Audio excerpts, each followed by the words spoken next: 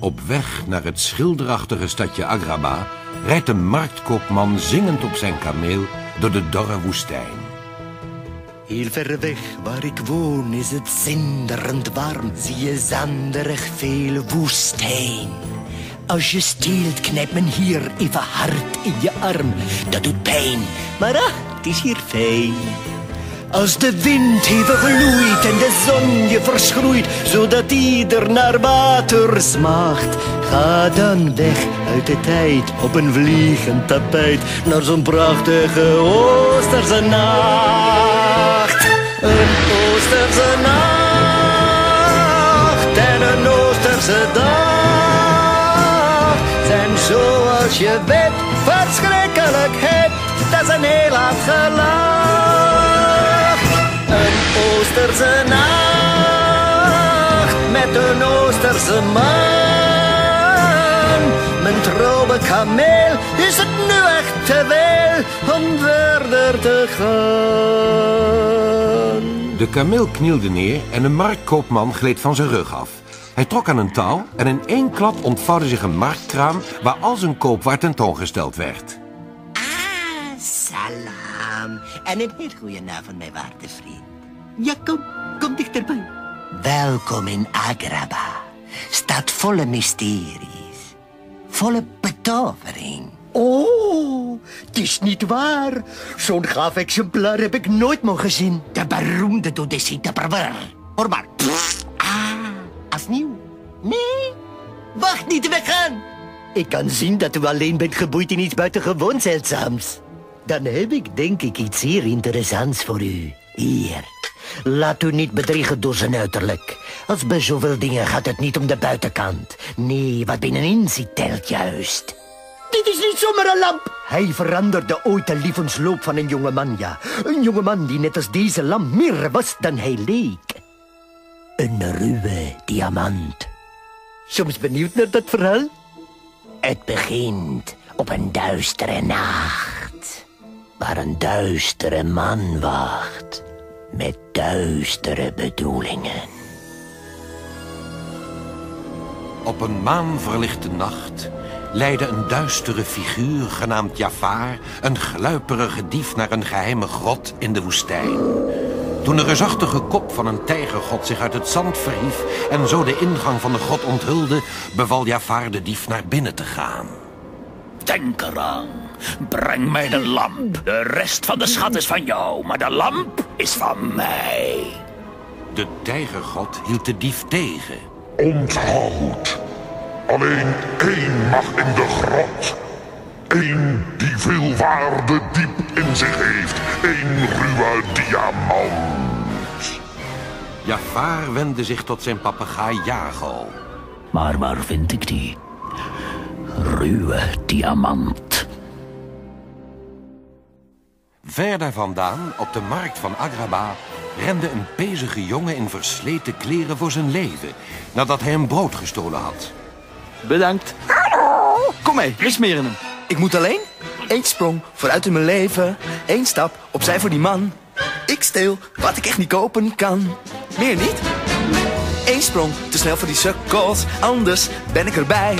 Zij daar hebben een hekel aan mij. Schooier, straatrat, vlegel, zwerfkat. Het is vers van de bakken.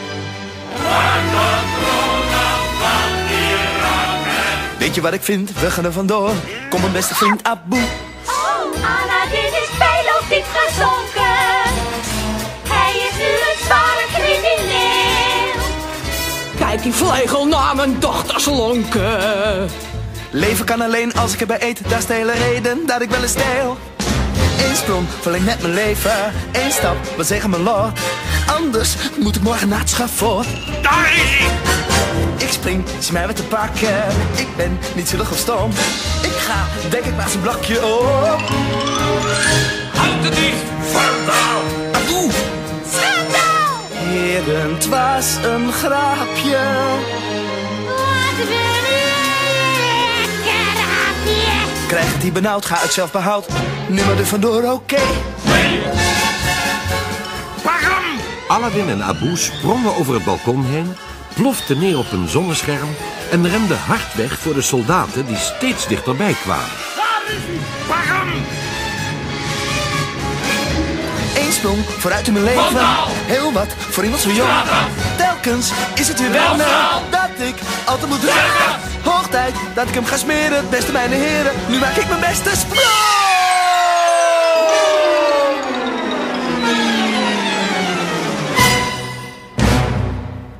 De jongen, wiens naam Aladdin was, ontsnapte dankzij de hulp van zijn aapje en maatje Abu.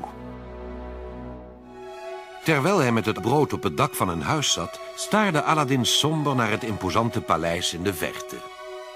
Maar eens, Abu, wordt alles anders. Dan zijn we rijk, wonen in een paleis... en hoeven we ons nergens zorgen over te maken.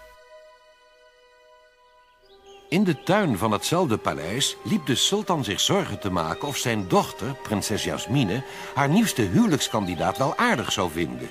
Lieverd, wijs toch niet elke huwelijkskandidaat af die hier verschijnt. Volgens de wet moet, je Moet trouwen, trouwen met, met een een prins. prins. En de tijd dringt nu. Bedroefd aaide Jasmine haar tijger Raja. Ik wil trouwen met iemand van wie ik hou. Later op de avond klom Jasmine, gekleed in een oude mantel, zonder dat iemand haar zag, over de tuinmuur, om te ontsnappen aan het benauwende paleisleven. Niet beseffend dat de grootvizier Jafar in het geheim een plan smeedde om het land in te nemen, vroeg de sultan zijn raadgever om advies over zijn dochter. Maar Jafar ontweek de sultan en hij trok zich terug in zijn geheime werkplaats om een plan uit te broeden. Terwijl hij een toverspreuk uitsprak, trof een bliksemschicht plotseling zijn zandloper. En daar verscheen het beeld van Aladdin. Jafar was verrast te zien dat Aladdin de ruwe diamant bleek te zijn... die de grot in moest om de lamp te halen. Laten wij de wachters vragen hem uit te nodigen in het paleis. Eindelijk vrij wandelde Jasmine in een voor haar totaal nieuwe wereld... verbaasd over alles wat ze hoorde en zag op de markt. Toen ze in haar onschuld een appel voor een arm jochie pakte... schreeuwde de groenteman... Dief! Niet wetend dat zij een prinses was... rende Aladdin op haar af om haar te redden. zeg, waar woon jij? Wat maakt het uit? Ik ben weggelopen en ik ga niet meer terug. Plotseling greep Razul Aladdin. Jasmine wendde zich boos tot de paleiswacht. Laat hem los! Op bevel van de prinses. Stom verbaasd nu hij hoorde wie ze was... kon Aladdin Razul alleen maar hulpeloos aankijken... die hem op bevel van Jafar meesleurde. Terwijl Jasmine treurde om het verlies van Aladdin... vond Abu hem geketend in een donkere kerker... waar hij voortdurend aan haar moest denken. Jafar, vermomd als gevangene, strompelde op Aladdin af. Ik ken een grot, mijn jong, vol met schatten genoeg om zelfs indruk op jouw prinsesje te maken. Ik heb jonge benen nodig. Eén probleempje. Het is daar buiten en wij zijn hier. Niet alles is wat het lijkt. Jafar verschoof een steen waardoor een geheime trap zichtbaar werd. Even later reden ze door de grote woestijn. Jafar bracht Aladdin en Abu naar de grot der wonderen. Deze keer liet de tijgergod Aladdin naar binnen. Jafar riep hem nog na.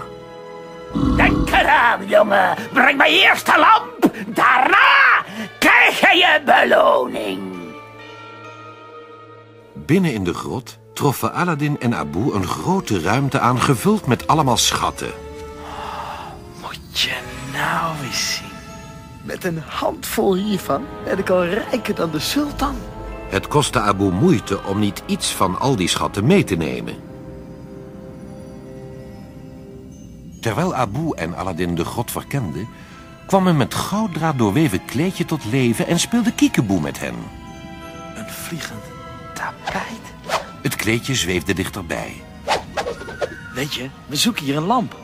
Het kleedje ging hen voor en wees hen de weg naar een reusachtige grot. Daar stond de lamp bovenaan een stenen trap. Terwijl Aladdin deze besteeg, ontdekte Abu een beeld van een aap dat een grote edelsteen vasthield. Op het moment dat Aladdin naar de lamp reikte, griste Abu de edelsteen weg.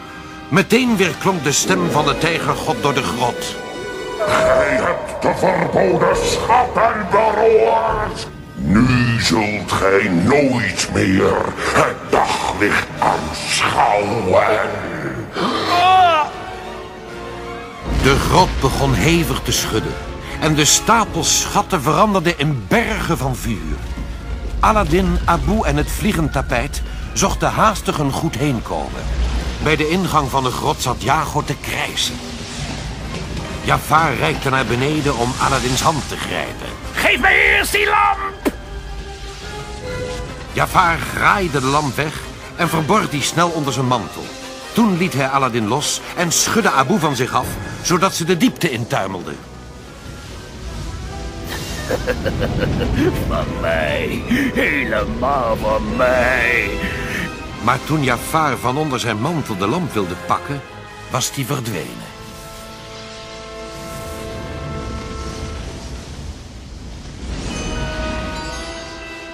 Het vliegend tapijt ving het vallende tweetal nog net op toen de ingang van de grot zich sloot. Een grote stilte daalde neer. Opgewonden kwetterend haalde Abu de lamp tevoorschijn. Aladdin moest lachen. Ha! Jij kleine aap van een dief. Aladdin veegde wat stof van de lamp om hem beter te kunnen bekijken. De lamp braakte kleurige rookwolken uit... die de vorm aannamen van een reusachtige geest.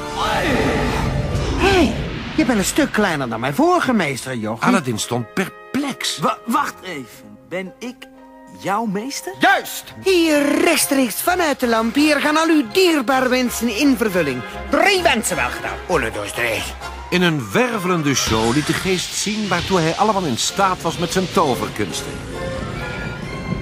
Door een handige list zorgde Aladdin ervoor dat de geest hen uit de grot bevrijdde zonder één wens te verspelen. Hij keek zijn nieuwe vriend glimlachend aan. Wat zou jij wensen? Ik? Vrij zijn. Gewoon mijn eigen meester. Zoiets zou nog mooier zijn dan alle toverkunst en alle schatten op de hele wereld. Dan doe ik het. Nadat ik twee keer gewenst heb, wens ik jou de derde keer vrij. Nou, ik hoop het. Wij gaan toveren! Nou, vertel eens. Wat wil jij nou het liefst? Kan je een prins van me maken? Eh, eens even kijken. In een flits toverde de geest modieuze mantels voor Aladdin tevoorschijn en veranderde hem in prins Ali. In het paleis bespraken Jafar en Jago wat ze nu moesten doen. Jago kreeg een idee. Jij trouwt met de prinses, duidelijk ja? En eh, en eh, dan word jij de nieuwe sultan. Oeh, het idee is briljant. Ja, Opgewonden stapte Jafar naar de sultan toe. Hij rolde een officieel uitziend document uit en las hardop voor. Als de prinses op de vastgestelde tijd nog geen echtgenoot heeft gekozen... dan zal de sultan moeten kiezen voor haar. Mocht het geval zich voordoen dat er geen geschikte prins gevonden kan worden... zal de prinses moeten trouwen met de grootvizier. En dat ben ik. Hij maakte gebruik van zijn slangenstaf om de sultan te hypnotiseren... en beval hem zo de bruiloft voor te bereiden. Gekleed als prins Ali maakte Aladdin triomfantelijk zijn intocht in Agrabah... gezeten op Abu, die in een olifant was veranderd. In elegante kleren gestoken en omringd door een gevolg van dansers, zwaardvechters en hovelingen... kwam hij de paleispoort binnen.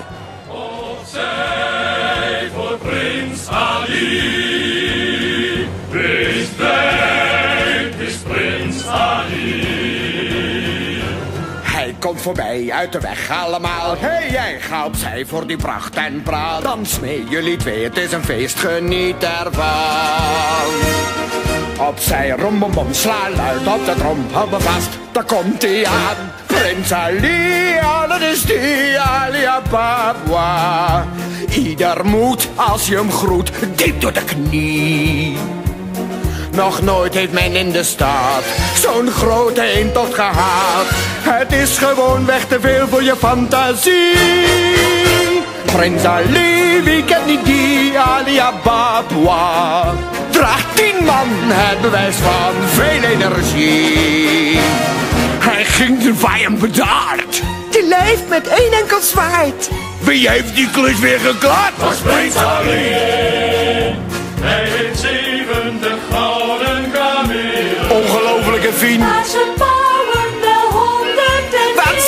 niet gek alle dieren uit vijf werelddelen. Hij heeft het toch maar dik voor elkaar. Een spektakel voor iedereen. Prins Ali, dat is die knappe Nee, die iemand die maar zo gewoon Zijn postuur zijn mijn vuur als ik hem zie. Ik zag het vandaag meteen, dus draai je kusje niet omheen.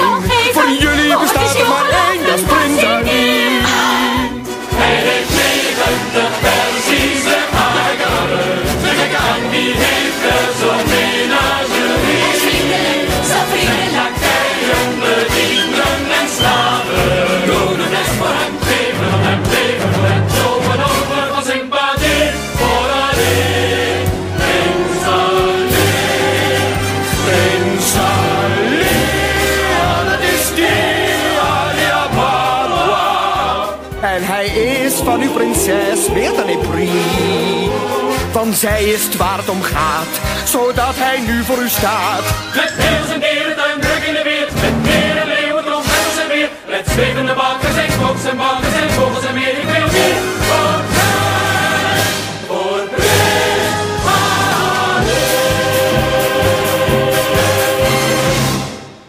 De sultan begroette hem enthousiast. Ja, ja, Jasmine vindt hem vast leuk. Maar Jasmine dacht dat haar vader haar weer wilde uithuwelijken... en boos beende ze het vertrek uit.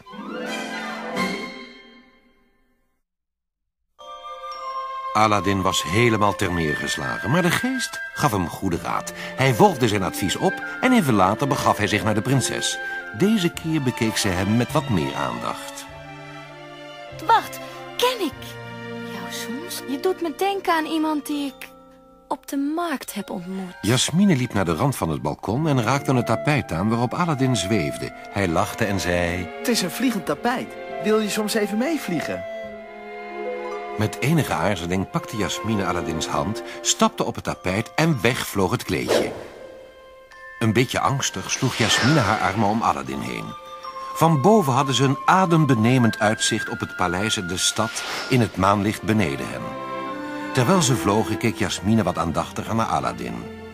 Jij bent de jongen van de markt. Ik wist het. Waarom loog je tegen me? Aladdin wist even niet wat hij moest zeggen. De waarheid is, ik kleed me graag als eh, een straatjongen. Maar ik, ik ben een echte prins. Het einde van de wonderbaarlijke reis naderde en het tapijt vloog ze terug naar het paleis. In de lucht spatte vuurwerk uit elkaar en Jasmine pakte Aladdins hand vast.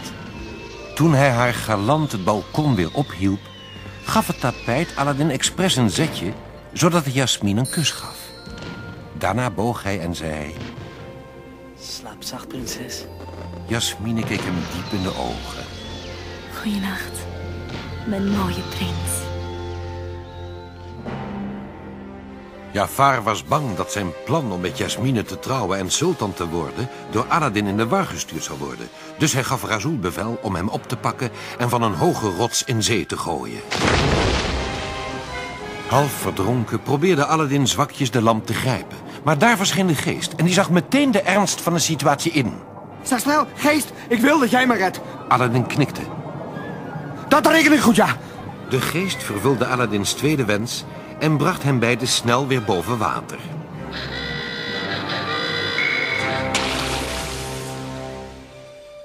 In het paleis rende Jasmine dolblij op haar vader af. Oh, vader, ik heb zoiets fantastisch beleefd. Ik ben zo gelukkig. De sultan, nog steeds onder Jafars hypnose, keek zijn dochter wazig aan. Maar goed ook, Jasmine. Ik heb voor jou een man gekozen. Wat? Jij trouwt met Jafar. Je bent sprakeloos, zie ik. Dat siert een aanstaande vrouw. Ik trouw nooit met jou. Vader, ik verkies prins Ali. Ali is weg. Je moet beter in je kristallen bol kijken, Jafar. Prins Ali! En daar stond Aladdin, nog steeds als prins gekleed in de deuropening. Hij pakte de slangenstok en toonde dat Jafar een bedrieger was. Toen Aladdin terug was op zijn kamer, kwam de geest verheugd uit de lamp tevoorschijn.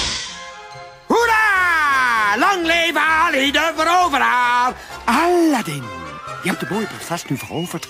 Wat gaat er door je heen? Wat zijn jouw plannen? De geest zag hoe Aladdins gezicht betrok.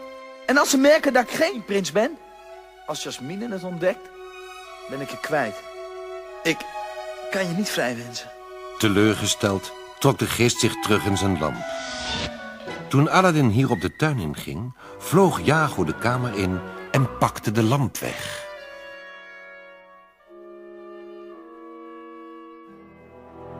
Vervuld van hebzucht wreef Jafar over de gestolen lamp. Toen de geest verscheen, trok Jafar hem dichterbij.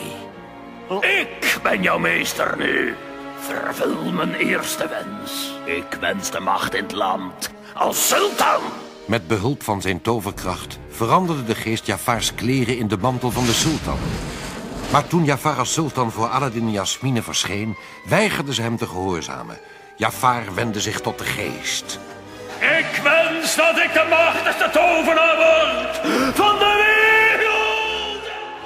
De geest knikte treurig en voldeed aan zijn wens. Met zijn toverkracht veranderde Jafar de prinselijke kleren van Aladdin weer in de vodden die hij eerst droeg. Prinses, er is iemand aan wie ik u graag zou willen voorstellen nu. Aladdin keek de prinses bedroefd aan. Ik, ik wou het je zeggen, maar ik... Om snel van Aladdin af te zijn, liet Jafar de jongen en zijn vriendjes in een toren verdwijnen... en toverde ze naar het einde van de wereld op het besneeuwde berg. Duizelig kroop Aladdin uit de toren tevoorschijn en zei tegen Abu... Het is allemaal mijn schuld. Ik had de geest moeten bevrijden toen het nog kon. Het spijt me, Abu. Ik heb alles verknoeid. Ik moet teruggaan, dan maak ik alles weer goed. Aladdin kon nog net het vliegend tapijt van onder de toren redden en ze sprongen erop. En daar zweefden ze boven de wolken terug naar Agrabah. In het paleis had Jafar op de troon plaatsgenomen. Net toen het er naar uitzag dat hij alles zou krijgen wat hij maar wilde, verscheen Aladdin. Jafar sloeg hem tegen de grond en wierp Jasmine in een reusachtige zandloper. Dacht jij dat jij de machtigste op aarde zou kunnen verslaan? Zonder geestjoch ben jij niks. Aladdin probeerde iets te verzinnen om Jasmine te redden en eindelijk van Jafar af te komen. De geest heeft meer macht dan jij ooit zal hebben. En dit bracht Jafar op een briljant idee.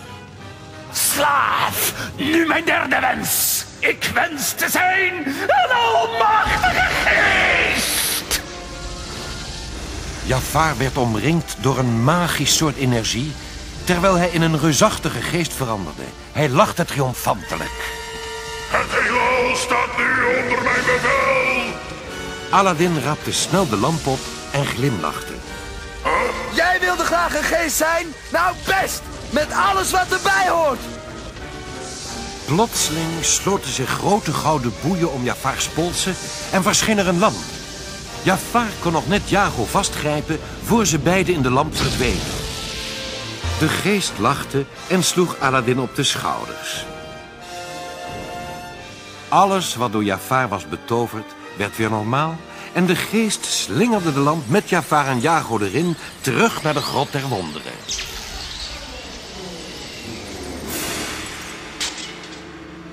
Aladdin en Jasmine stonden op het balkon.